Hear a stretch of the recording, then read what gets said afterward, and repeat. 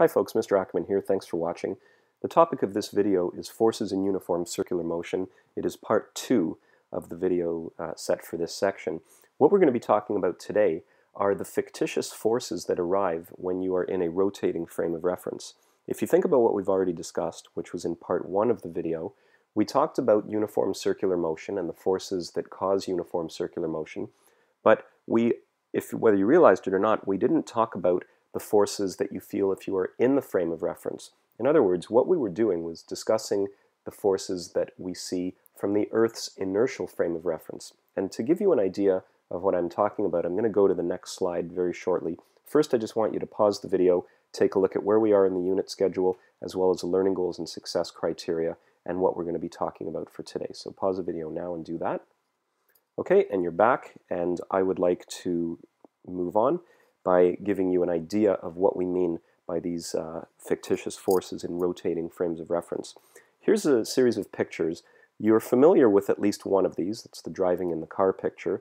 The other three maybe you're familiar with, maybe you're not. So let's start with the one that everyone's familiar with. I want you to consider this driver who's going in a circle.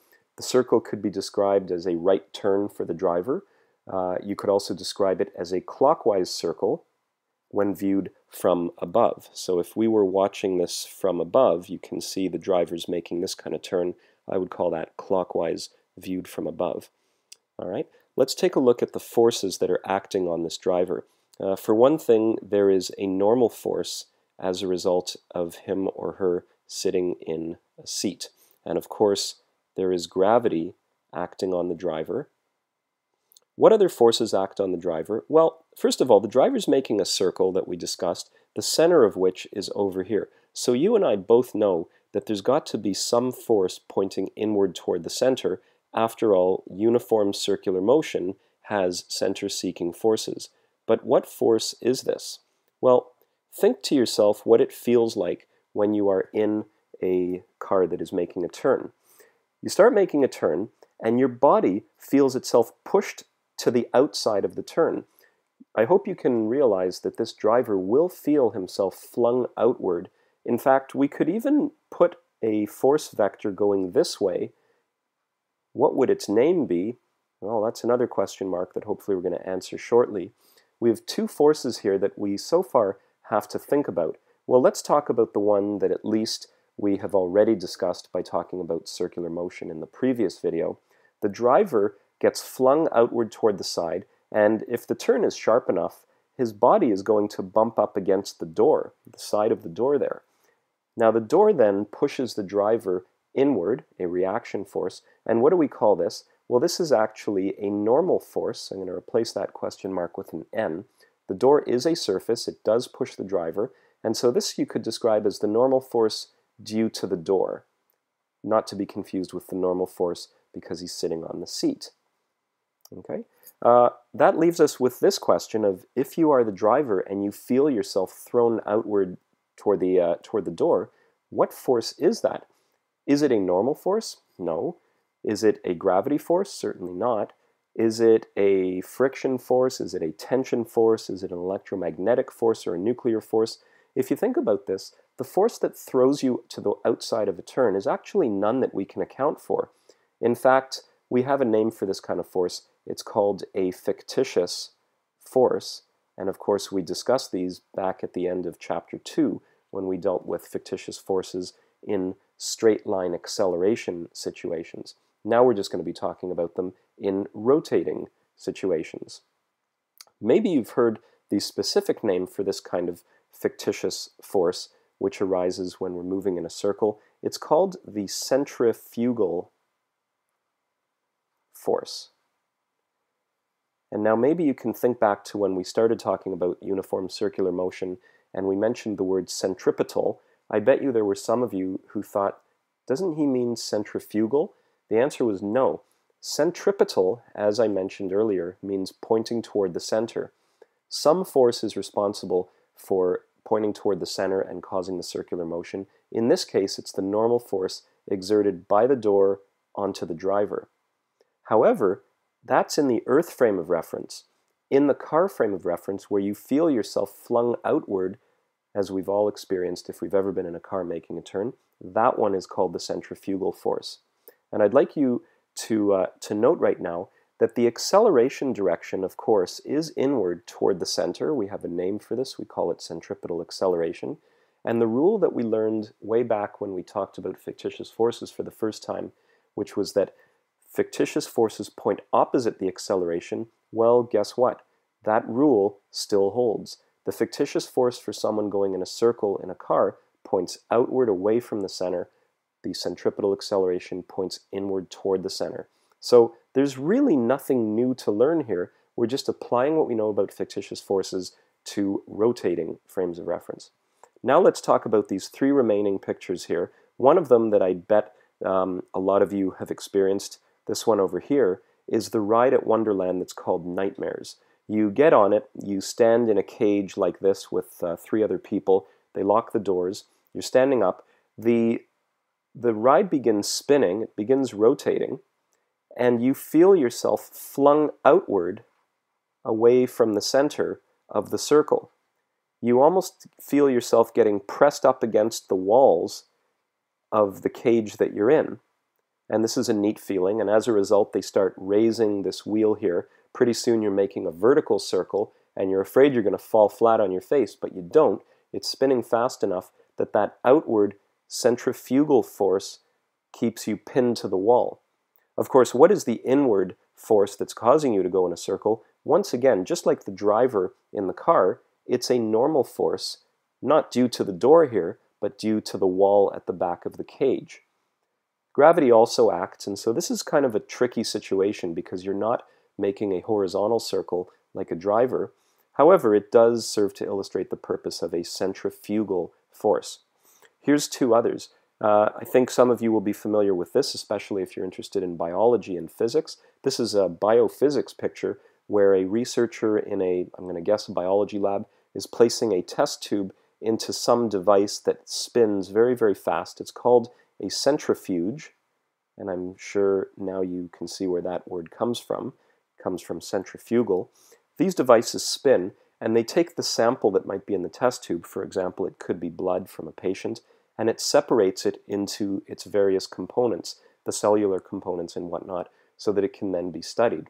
Uh, your washing machine works on a similar principle. If you ever go wash your clothes, they're soaking wet at the end of the wash cycle. The washing machine then spins them, and there are little holes in the wall of the washing machine, and the water escapes through those holes, and the, the, the clothes at the end of the spin cycle come out relatively dry. You can then throw them in the dryer, and with a bit of heat and uh, blowing air, they will dry. The final picture here is, uh, it might be hard to see, by the way, these two pictures, this one and this one, are out of your textbook. It's Physics 12 by Nelson, to give credit where credit is due. Uh, this picture here has an astronaut being trained for space travel by being spun in a circle by this machine. And what they're trying to do here is apply what we've uh, already discussed in a previous video called G's. If you remember that, part one of this video where we talked about the G force on a pilot. They're trying to apply that uh, in order to train the astronaut to go into space and experience these forces. And of course, if you look back in the previous video, you'll see how G's were applied on a fighter pilot or a passenger in a fighter aircraft. Same idea in this machine, this one for training purposes. All right, so now that you have uh, an intuitive feel about what we mean by these fictitious forces in a rotating frame of reference, go to our next slide and do a little bit closer analysis on the one that we were talking about back here with the driver. Okay, so take a look at these free body diagrams. We're now going to compare what happens in the Earth frame of reference with what happens in the car frame of reference, just to help, uh, you, help you get that idea down before we go and solve problems. Here we've got a, a bird's eye view of a driver making this time a counterclockwise circle. So that is a slightly different view than what you saw in this picture here. This is a video, this is a picture rather, that you might see if you were standing up near the side of the road watching this car go by. I'm going to call that a street level view as opposed to a bird's eye view. So let's go back here. In the bird's eye view, the instantaneous velocity vector, of course, is tangent to the path. They're showing you that. Here's the door and there's the passenger. There's some force pointing inward toward the center which provides the centripetal acceleration. And as we discussed, it's the force of the door on the passenger. The free body diagram, however, is drawn from street level. For example, if you were standing on the street watching this car go by, this is what you would see. You'd see a vertical normal force pointing straight up. You'd see gravity pointing straight down. The normal force, of course, would act inward toward the center. However, what would the free body diagram look like in the car's frame of reference? Well, now, once again, a bird's eye view. So this time we have, again, the normal force uh, of the door on the passenger, but an outward centrifugal force, the fictitious force acting on the passenger. And of course, if you're in a car and you feel yourself mashed against the door during a sharp turn, within the car's frame of reference, you are not accelerating. You are stuck against the wall of, or the wall of the door rather, the side of the car. You would say that the normal force and the fictitious force are in balance. So remember, there is no acceleration seen in the frame of reference of the car, but there is acceleration seen when you are viewing from without, from the outside of this frame of reference. The free body diagram from street level, of course, is shown here again, similar to the free body diagram in the Earth frame of reference, but this time including the fictitious force. Same rules that you used for drawing free body diagrams in the end of the last chapter when we talked about straight line or linear acceleration.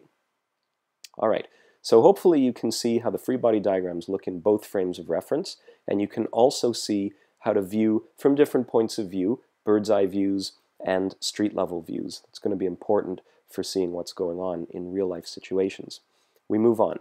Right now, I'd like you to, uh, in a moment, pause this video and watch Frames of Reference Parts 3 and 4. These are in the homework schedule right at the beginning here, so you're going to click on these number 3 and 4, and that will bring you to YouTube, which should get you to this, Frames of Reference Part 3, and this Frames of Reference Part 4. They're each about 4 or 5 minutes, so pause my video now, go to these for approximately 10 minutes, to hear a little bit more from those U of T professors in their classic video.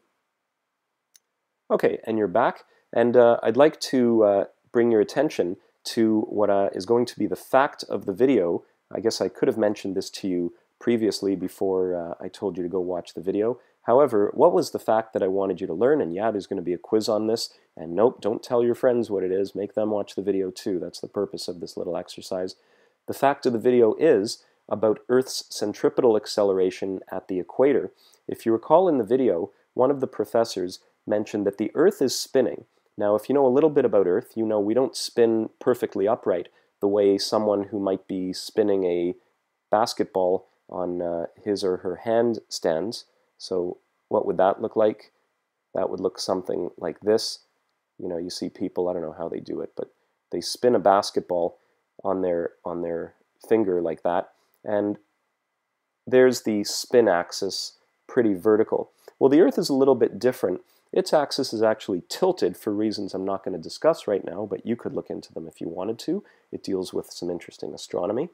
Uh, the Earth has a radius of 6,380 kilometers, and don't forget, as usual, we've got to convert that into meters. So that would be times a 1,000 would give you this many meters. Of course, every member of this planet knows that the rotation period is 24 hours, and that comes out to 86,400 seconds.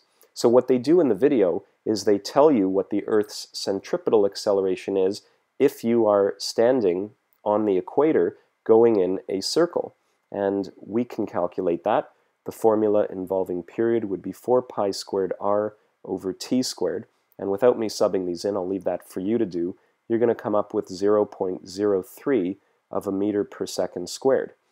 Now, we know that if we drop an object toward uh, uh, and let it fall to the ground, no matter where you are on the surface of the Earth, down would be toward the center. And when you're standing at the equator, that of course goes opposite the centrifugal force, which is pointing outward due to the fact that you are in a rotating frame of reference. So think about this for a minute. In the Earth frame of reference, there's a downward acceleration of 9.80 meters per second squared, but there's an outward centrifugal acceleration of 0.03 meters per second squared.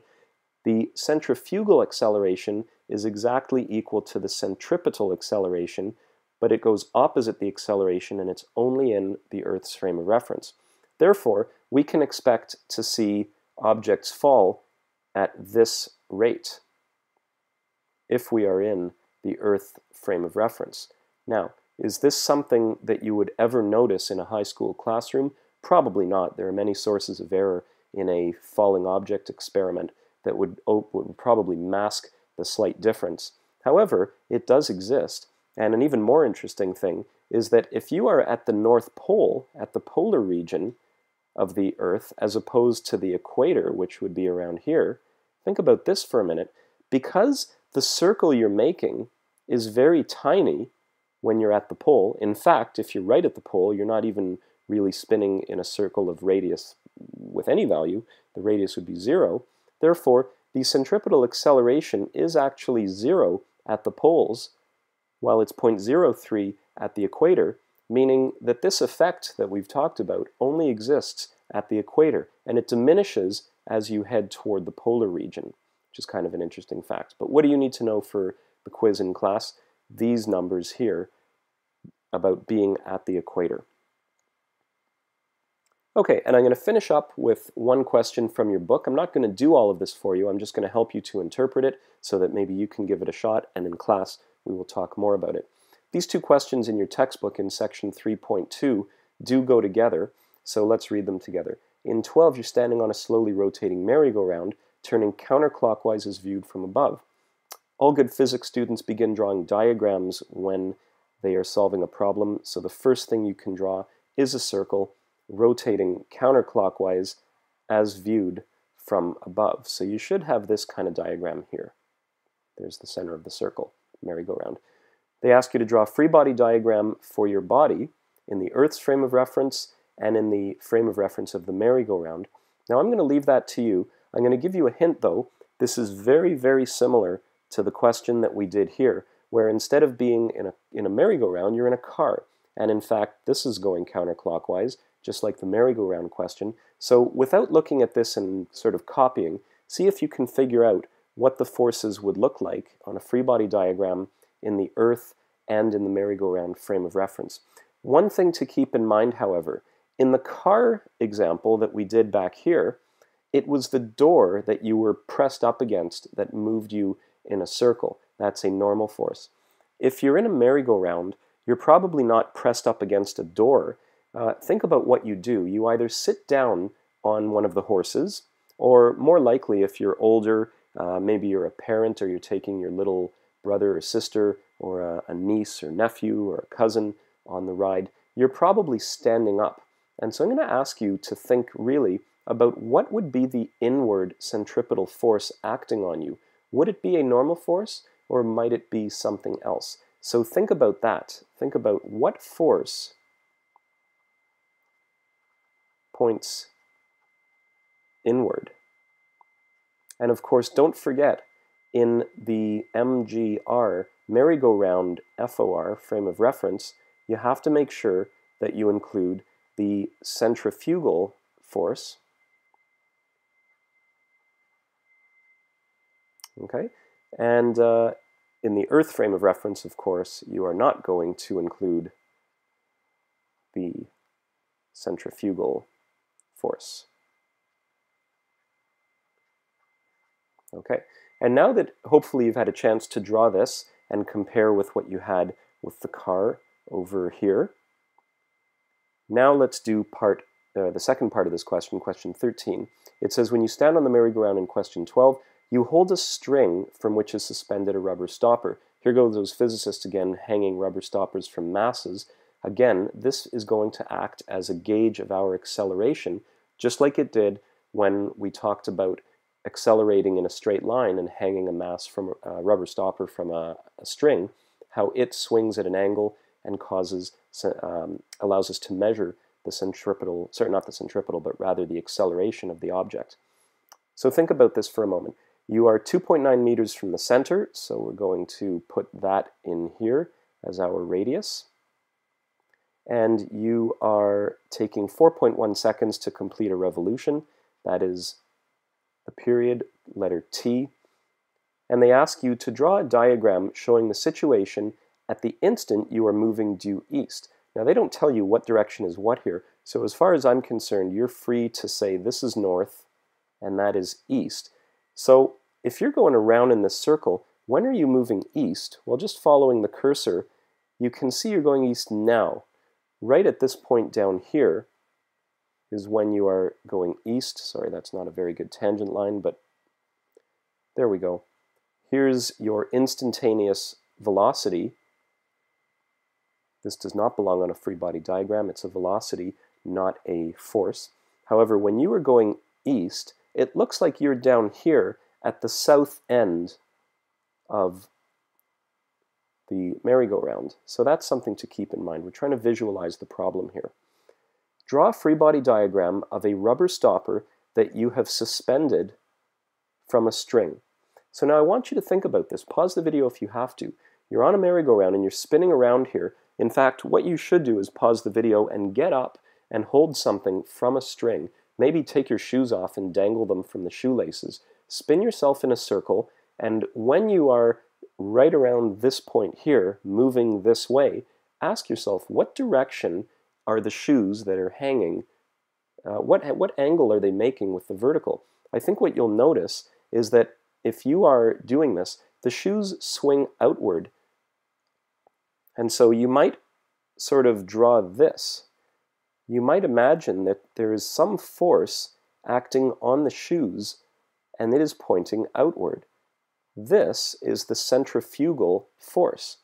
However, if we look at this from above in what's called a bird's eye view, which is what I'm showing you right now, it's going to be very hard, hard to see what is going on. So just like in the car example, we did a bird's eye view and then we did a street level view, I'm now going to do a street level view of what's going on here so that we get a better idea. They tell you to draw the free body diagram of the stopper for a person looking eastward from behind you.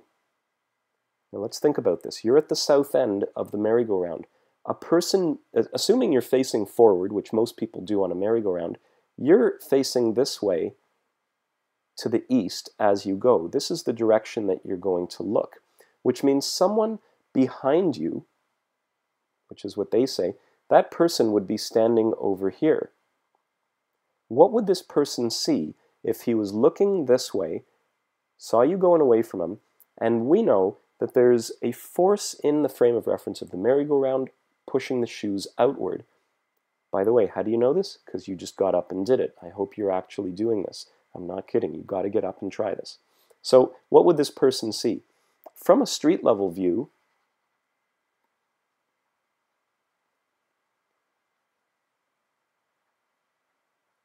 Let's see. We're going to show this person looking to the east so that to this person's right, should be that way, we're going to have south, and to this person's left, we're going to have north. If that doesn't make sense, go back and listen again to what I just said. The person is looking east, so forward is east, which means to his left is north, to his right is south.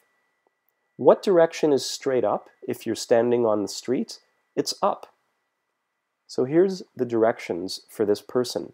This is not north, it's up. This is not south, it's down. To the left is north,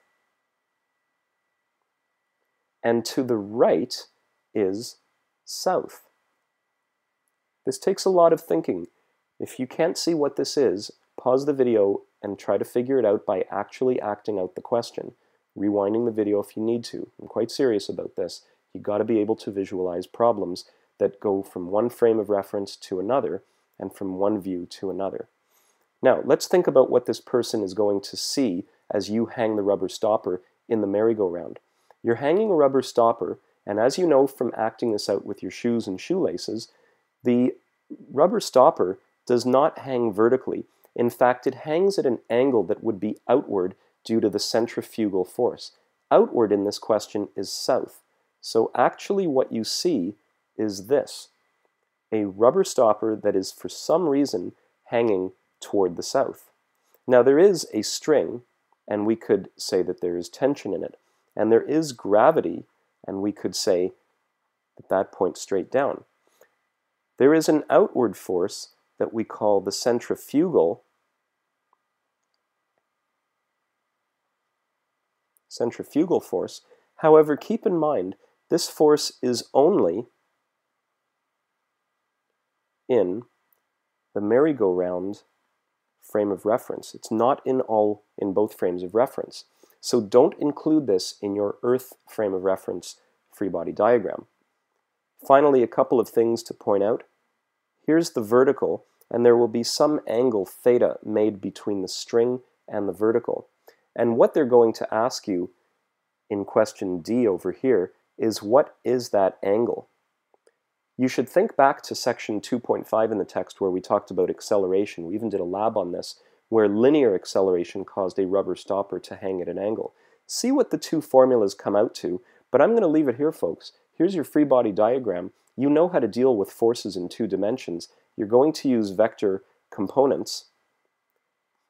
We're going to take this up in class, but I want to give you a bit of a challenge, which is why I'm going to stop at this point. Thanks for watching. Have a great day. I will see you in class. Good luck with the questions. Bye now.